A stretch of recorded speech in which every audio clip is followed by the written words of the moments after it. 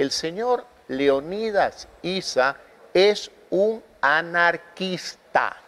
Él odia a la democracia, él odia la institucionalidad del Ecuador, él es eficiente en incendiar edificios públicos, él es eficiente en promover el secuestro de periodistas y policías, él es eficiente en mandar a alguien a tirarle una piedra en la espalda, por la espalda, de manera cobarde a un periodista, como lo hicieron en octubre 19.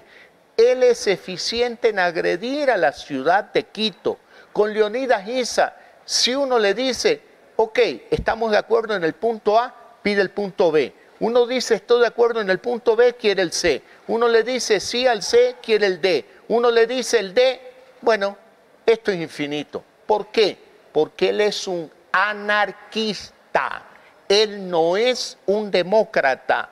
Él quiere, él quiere por fuera de la institucionalidad del país, por fuera de la democracia, él quiere crear un ambiente de anarquía donde no sabemos qué propone al Ecuador, no sabemos qué quiere él para el Ecuador, que no sea destruir la ciudad de Quito, atacar edificios públicos, secuestrar periodistas, policías y atacar cobardemente por la espalda periodistas como lo hicieron con Freddy Paredes en octubre del 19.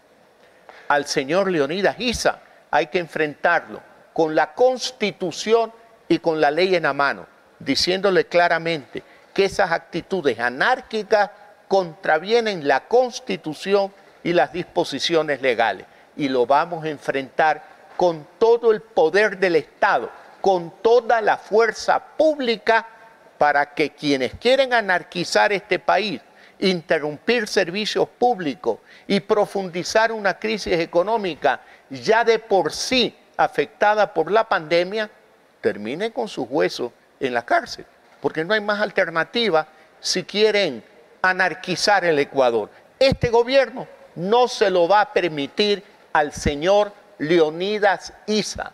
Diálogo con las organizaciones sociales, siempre, por supuesto, los brazos abiertos, la mano extendida, pero frente a la anarquía, el peso de la ley, todo el peso de la ley con el señor Leonidas Isa, que además es un hombre tan violento, tan violento, que quiere someter a algunas mujeres a la justicia indígena. Eso es una agresión contra la mujer ecuatoriana. El gobierno se encuentra en una campaña de lucha contra la violencia contra la mujer. Y debo ser claro, Leonidas Giza es uno de los hombres más violentos contra la mujer ecuatoriana.